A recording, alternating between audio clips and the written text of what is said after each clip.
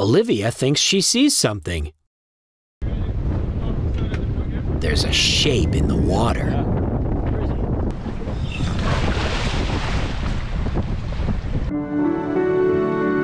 Fortunately, the manatee doesn't seem to mind our presence. As long as we keep a respectful distance, the animal goes about its business.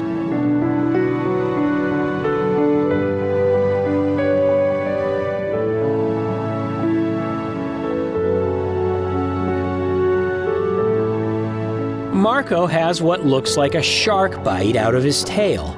Fully grown manatees can generally steer clear of sharks, but babies are vulnerable.